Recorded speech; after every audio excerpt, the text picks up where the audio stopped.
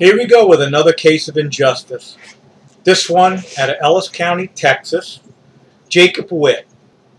Jacob Whitt left Florida. A young man set out on his own, get a job, and start a life for himself. From all reports from family and friends in Florida, he was a well-balanced young man and knew what he wanted to do with his life. Got the job in Texas, found himself an apartment, paid his rent on time, went to work on time, even had money set aside. Didn't need a car because work was very close to home. So far, nothing sounds like someone that's suicidal. Seems like all his basic needs are being met. However, he left work on a Friday afternoon, collected his paycheck, which that one he didn't cash because he had money, and he had paid his rent already. But he didn't return to work on Monday, even after bidding farewell to his friends and telling everybody he would be back on Monday. Weeks, months go by, his mother hadn't heard from him, so she filed police reports trying to locate her son. To no avail. Six months later, a decomposed body is found in a wooded area 35 miles away from home, from Jacob's home. Remember, he didn't have a car. Jacob knew no one there, had no reason to be where he was found. Yet his body is decomposed inside of a tent, partially in a sleeping bag.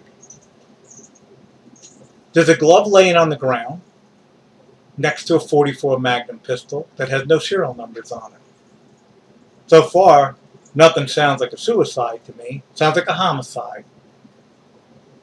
Obviously, he had no identification on him when the police came to the scene there, which they were summoned by the property owner when they were inspecting their property and found him, he had no identification. Sounds like a robbery.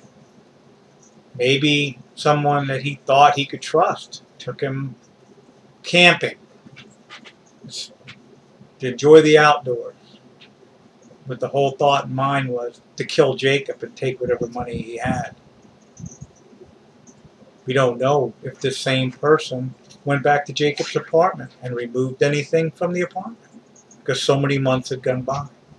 But Ellis County Sheriff, Johnny Brown's boys, classified it as a suicide. Just another homeless bum found in the woods with a bullet hole in his head and a gun laying on the ground with no serial numbers on it and no ID. Now, could it not be undetermined case? Could it be an open homicide case? They don't have time to work on cases like that. They're too busy in Ellis County. His mother, frantic to try to find her son, was not notified because there was no ID. She submitted DNA. Many, many years go by before that DNA matches up to Jacob Whitt's body laying in a pauper's grave. His mother, Teresa, has frantically and legally requested on numerous occasions all of the autopsy reports, all the photographs, and all the police reports documenting what investigation was done on her son's death.